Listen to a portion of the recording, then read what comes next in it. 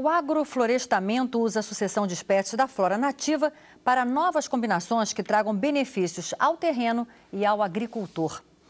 É o que mostra o outro olhar de hoje, especial do Dia do Agricultor. A produção é de Gustavo Mota.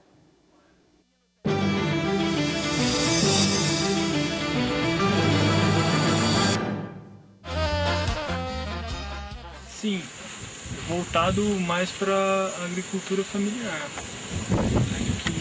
tem um foco tão grande como uma agricultura que tem é, a direção para uma grande produção.